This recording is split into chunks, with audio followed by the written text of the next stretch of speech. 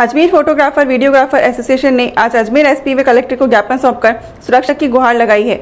इसके साथ ही बीती रात वैशाली नगर स्थित समारोह स्थल में दूल्हे के परिजनों द्वारा की गई मारपीट के मामले में दोषी आरोपियों के खिलाफ सख्त कार्रवाई की मांग की है। फोटोग्राफर अजीत इंद्रजीत घनश्याम शर्मा ने बताया कि मारपीट के बाद जब मामले की शिकायत करनी चाहिए तो आरोपी द्वारा जान से मारने की धमकी दी जा रही है। आरोपियों के खिलाफ सख्त कार्रवाई नहीं हुई तो उनके हौसले और बुलंद होंगे।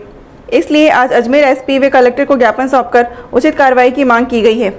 कल रात प्रेम प्रकाश आश्रम में हम फोटोग्राफी करने गए थे और उस दौरान दूल्हे के किसी रिश्तेदार ने मेरे साथ बहुत बुरी मारपीट करी और 25 तीस दिनों ने शराब पी के मेरे साथ बहुत बुरा मार कुटाई करी है।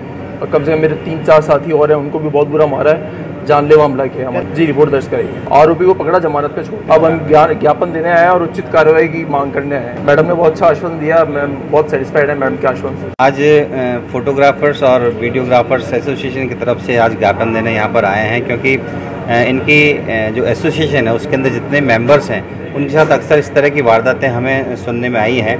और पिछली रात को भी प्रेम प्रकाश आश्रम के अंदर जब ये फोटोग्राफी कर रहे थे, वहाँ पर दूल्हे के साथ जो भी अन्य लोग थे, उन्होंने दारू पी के अभद्र व्यवहार किया, इनके साथ बहुत मारा पीटी करी बेस बैट से मारा, लात घूसों से मारा, और इनके कपड़े तक फाड़ दिए हैं। उसकी जो भी उचित कार्रवाई है, उसके लिए आज हम यहाँ पर कलेक्टर साहब और एसपी साहब दोनों को यहाँ पर ज्ञापन देना है। एसपी साहब चूँकि हमें मिले नहीं तो मैम सरिता जी को हमने ज्ञापन यहाँ पर दिया है।